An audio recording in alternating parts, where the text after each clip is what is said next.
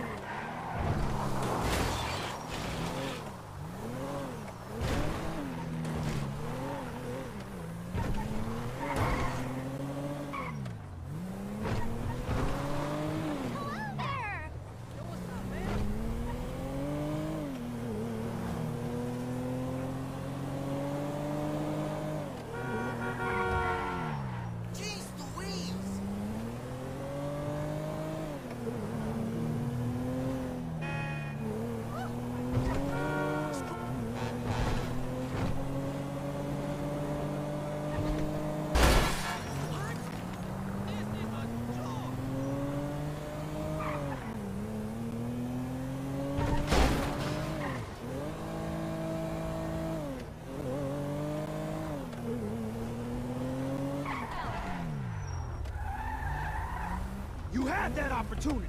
I said get off me, you stupid bastard! Get out of the car! Shit! All right, let's go! Let's go! Let's go, Michael! I'm on top of it. The cops are still after us! Chill out. It's under control.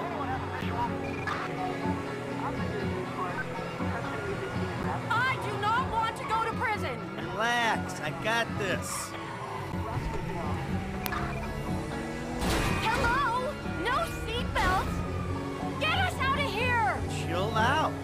It's under control.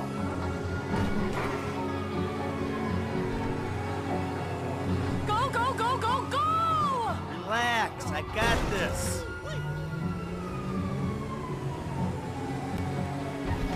Come on, come on, come on! Don't worry. I know what I'm doing. Shit! They're still on us! I'm on top of it. That it? Are they gone? Of course they're gone. Who are you talking to? Come on, I'll take you back to the house. What's happening? Don't say it!